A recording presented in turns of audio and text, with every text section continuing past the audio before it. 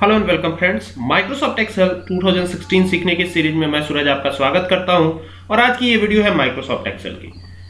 Version कोई भी हो, तरीका यही होगा जो मैं आज आपको बताने जा रहा हूँ। तो अगर आपको प्रिंट प्रीव्यू देखना है प्रिंट प्रीव्यू जब भी आप देखते हैं तो क्या करते हैं? आप फ़ाइल पे चले जाते हैं ऑफ़िस बटन पे जाते हैं और वहाँ पे क्लिक करके, और फिर जो ओपन होती है मेन्यू उसमें आप जाते हैं और फिर प्रिंट पे जाते हैं। तो जैसे ही प्रिंट पे जाते हैं तो नीचे आपको ये प्रीव्यू करके इस तरीके से दिखाया जाता है। जैसे ही प्रिंट पे क्लिक करते हैं तो एक प्रीव्यू आपको, आपके सामने आता है। इसे हम प्रिंट प्रीव्यू कहते हैं। ये तरीका आप इस्तेमाल करते होंगे जनरली लेकिन अगर आपको प्रिंट प्रीव्यू देखना है तो क्या शॉर्टकट की हो सकती है? आपको प्रेस करना है कंट्रोल के साथ फ़ंक्शन बटन F2 जैसे कंट्रोल F2 प्रेस करेंगे तो प्रिंट प्रीव्यू अपने आप डिस्प्ले हो जाएगा। ये प्रिंट प्रीव्यू की शॉर्टकट की होती है। आई होप की बात समझ में आई होगी कि प्रिंट प्रीव्यू कैसे देखा जाए with the help of shortcut की। तो अगर आपको ये वीडियो पसंद आए तो आपसे शेयर करें, हमारे चैनल को सब्सक्राइब करें। Thank you for watching this video